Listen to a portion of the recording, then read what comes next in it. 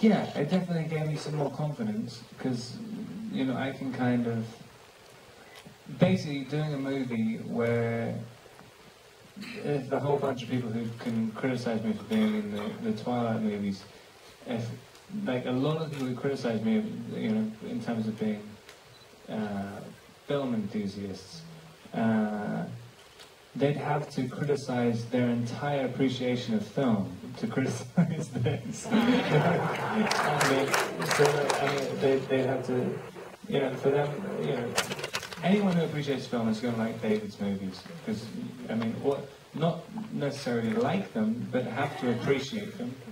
Uh, and so, I, no, no argument from me. I, I, I like that, and I think it's quite accurate. You know, we, I'll tell you, we a lot of movies are desperate to be loved, you know, and a lot of people in the movies are desperate to be loved, and that's why a lot of actors will not play a role they think is unsympathetic or, or shows them in an unflattering light. And to me, that's you know that's a certain kind of white bread movie making, basically a confection. You know, it's a consumer item. But if you're making interesting, tough stuff that's that's challenging, uh, likable isn't isn't everything. In fact, sometimes it's it's uh, it's uh, counterproductive. You know. So I'm not afraid to have, make movies that are not likable, but as long as they're not boring and they're they're not uninteresting, that's to me that's a huge amount because most movies are both of those things.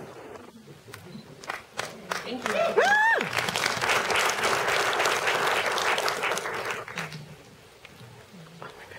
The um the script had some interesting quirks of like language. A few of the characters use the royal we at, at times.